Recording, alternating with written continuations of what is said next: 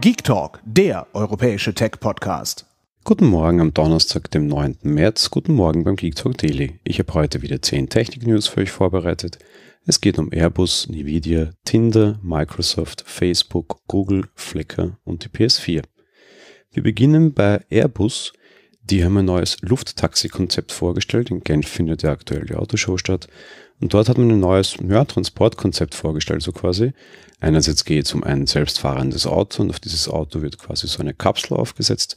Diese Kapsel soll anschließend aber auch quasi an eine Drohne angedockt werden können, an eine selbstfliegende und euch so weiter transportieren. Zusätzlich soll das Ganze dann aber auch zum Beispiel in ein, ja, diese Hyperloops hineinpassen. Also im Endeffekt, ja, eine mobile Transportkapsel, die über alle Wege hinweg transportiert werden kann.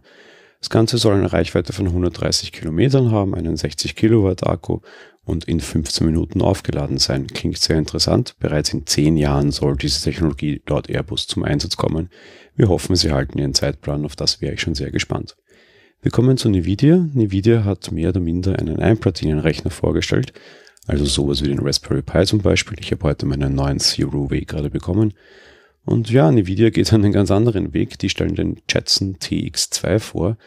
Das ist ein kleiner Einplatinenrechner, der auf die neue Pascal GPU setzt und damit mehr Leistung zusammenbekommt als eine aktuelle Xbox One oder PS4. Das Ganze läuft auf 1,3 bzw. 1,8 Teraflop, kommt mit 32 GB Speicher, 8 GB RAM und hat eine Leistungsaufnahme von 7,5 Watt. Wer sich jetzt allerdings denkt, na, neuer Spielerechner, günstiges System, ähnlich wie ein Raspberry, Leider nein. Wer das Ding aktuell kaufen bzw. vorbestellen möchte, zahlt dafür 600 US-Dollar.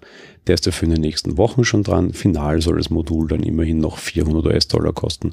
Also deutlich teurer als so ein kleiner Pi.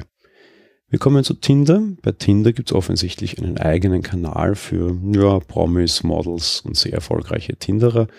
Im Endeffekt heißt das Ganze Tinder Select. Das will TechCrunch herausgefunden haben. Um dort allerdings Mitglied zu werden, muss man eine spezielle Einladung erhalten. Wir kommen zu Microsoft. Microsoft macht ein soziales Netzwerk dicht.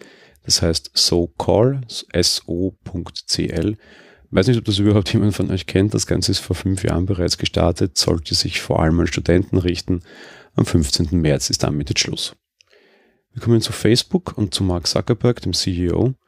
Der bekommt jetzt den Titel, der, also den Doktortitel der University of Harvard. Im Endeffekt hat er sein Studium ja abgebrochen am 25. Mai soll ihm jetzt aber trotzdem sein Titel verliehen werden und er quasi den Abschluss damit nachmachen.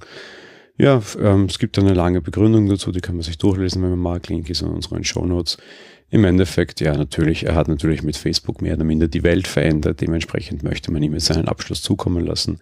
Sehe ich ein, bin gespannt, wie die Feier am 25. Mai dann wird. Wir bleiben bei Facebook. Facebook macht ja auch mehr oder minder eigene Hardware und so eine neue Hardware haben sie heute vorgestellt, nennt sich Big Basin oder Basin, ein ja, eigenes Serversystem, das quasi für Artificial Intelligence eingesetzt werden soll. Das heißt im Endeffekt die Bilderkennung in Zukunft übernehmen soll. Wesentlich besseres System als das bisherige. Wir dürfen gespannt sein, was es dann für weitere Leistungen bringen wird. Wir bleiben bei dem Thema Bild- und Objekterkennung, kommen aber zu Google.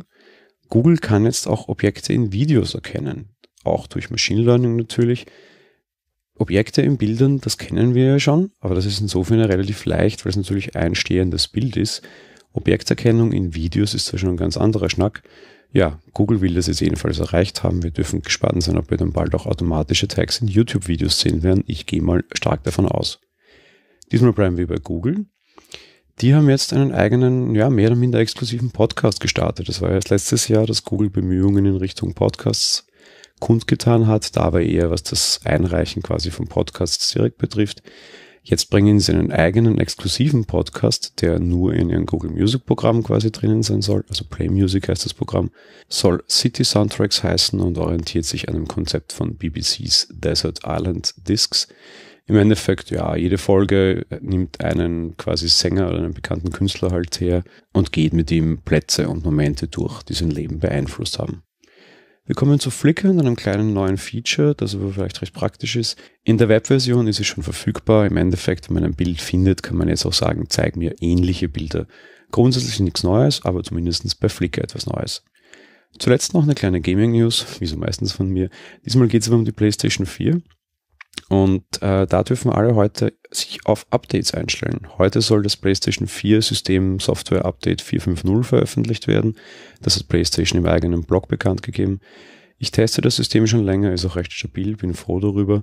Das Wichtigste ist, es gibt zwei neue Features. Das eine hilft allen, nämlich ihr könnt in Zukunft auch externe USB 3.0 Festplatten anschließen und diese als System Storage verwenden, heißt darauf Spiele installieren. Die Zeit des nervigen Festplatten-Upgrades geht mehr oder minder vorbei. Ich habe zwei Harddisks schon angeschlossen, funktioniert wirklich wunderbar.